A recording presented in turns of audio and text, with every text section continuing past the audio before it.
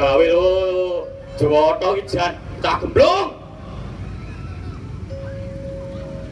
moro tulunan wa ambil.